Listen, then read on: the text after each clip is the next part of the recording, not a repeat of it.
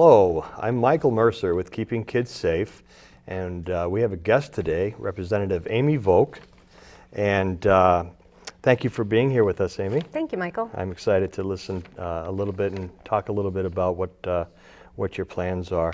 Um, uh, you're running for uh, office now. You hold a position right now, and, and Yep. what's that position? Um, currently, I'm state representative for Coastal Scarborough, District 127, and I'm running for Senate. So um, it's District 30, covers most of Scarborough, all of Gorham, and most of Buxton. Great.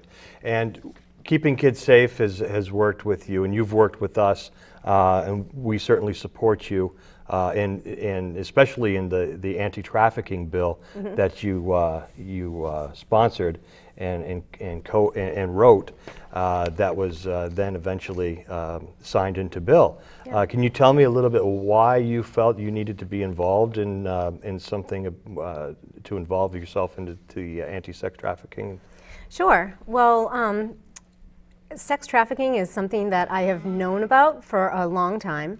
Um, and so I knew that a lot of times, um, or almost all the time, when you have a lot of drug trafficking, then sex trafficking goes hand in hand. And Maine has a huge problem with um, drug abuse, especially with prescription drugs. So it just makes sense that where um, we have a high rate of drug trafficking, that we're going to have sex trafficking as an issue here in the state as well. You know, I, I agree 100%. I- I'm a retired police officer, and, uh, you know, I see, I, I never really recognized that, uh, that sex trafficking was so rampant in Maine. You know, I worked here, and I also worked in Arizona, and, and I kind of knew, but I think the paradigm, and because of your bill, that law enforcement, uh, the, the thought and the paradigm that, that law enforcement have is changing because of your bill, because uh, law enforcement is, and uh, the criminal justice system in itself is uh, more aware and more educated that these girls are not out there because they want to be out there, that they're actually out there because Right. they're victims. Can you tell me a little bit about, about that? Absolutely, and um, you know, I think that that sort of education was beginning to happen before I introduced my bill.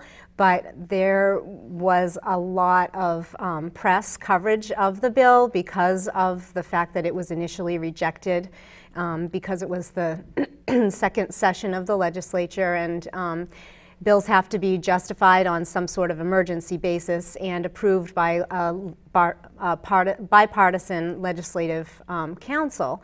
And unfortunately, on the first go around, they um, questioned whether or not this was truly an issue in Maine and um, even suggested that I had submitted it for political reasons, which couldn't have been further from the truth. In fact, at the time, I um, absolutely had no intention of even running for reelection, let alone running for Senate.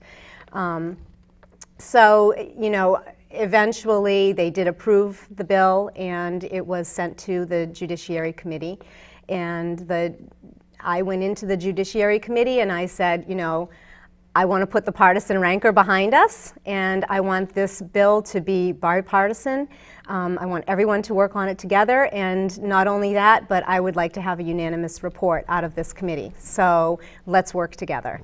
And we did. Um, and so the product is an excellent product that um, law enforcement has told me on more than one occasion they're actually using. Um, and so I, I couldn't have been more, more pleased. And um, Governor LePage was very happy to sign it into law as, as an emergency.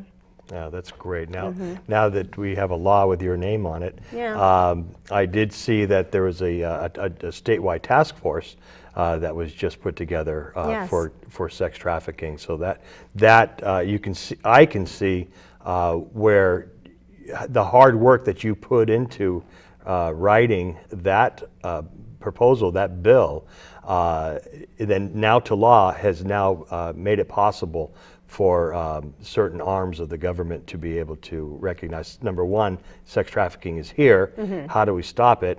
And so there are a lot of education, a lot of different um, uh, organizations involved with uh, with the anti-sex trafficking movement. I Yeah. call it a movement because we are uh, part of that movement. Keeping kids safe is involved with the education and awareness part. Uh, you know, and, and being involved with, uh, and I think this whole wheel, we all play a part in the wheel. Absolutely, yeah. And uh, we all have a, a, a spoke in this wheel. Mm-hmm. Um, your goals as we see, uh, as you move forward uh, as a senator, did you see Mm-hmm. any, any more legislation going through, or how do you see yourself as um, going forward at this point? Yeah. Well, one of the things that, um, one of the pieces of the bill that we weren't able to get um, passed because it was going to result in a fiscal note, meaning there would be a cost attached. And in tight budget times, that's sort of the death knell for, for, for some bills. So, um, but a direct request, request from a drug prosecutor in Cumberland County was to have it be a, um, an enhanced charge if you furnish drugs to um, a, um, a prostitute or someone who's being sex, sex trafficked. And she actually felt that that would be an easier charge in some cases um, to get somebody on, but that would result in longer prison sentences and hence the increased cost. So we didn't get that into the, the what became law, but I would possibly like to see us try again on that. Um, and you know, I, I would be willing to submit anything that law enforcement thinks that they need. Um, you know, part of what I did in writing this legislation was to meet with um, various members of law enforcement as well as some of the special interest groups and um, like I said, get everybody on board. And it's about protecting victims. You know, we're talking about young women and sometimes even men. Um, you don't hear about men as much, but I've seen one study that was done in the Atlanta area where they discovered that it was close to 50% of sex trafficking victims were male. Right. So we can't forget the young men out there as well. A lot of times these are runaways. Um, and they're lured by an adult who acts as though they're going to be their their um, patron in some way or their boyfriend and you know they take them to get their nails done and their hair done and they take them shopping Right. and and then you know they they sort of lure them in that way and they furnish them with narcotics as well Right. and they get them hooked and so um, we definitely need to continue to um, make sure that we're being proactive. But I did want to mention there actually was a sex trafficking task force in Maine, and the problem was that um, it hadn't been funded, and so they had lost their staffing, but they were continuing to meet, Okay. and they just hadn't really been able to accomplish a whole lot because of the lack of staffing. Um, However, this new task force, my understanding, is it's actually international in nature. So we're working with our neighbors in Canada as well as um, in other states, New Hampshire and Massachusetts, to make sure that, um, and federal authorities, to make sure that you know there's a comprehensive approach to this problem. Right. Well, a lot of work has been done. You, you continue to do great work. Uh, you know, keeping kids safe is very involved with uh, uh, the uh, child sex trafficking. Uh, to us, to keeping kids safe, child prostitution should should never ever be in the same sentence.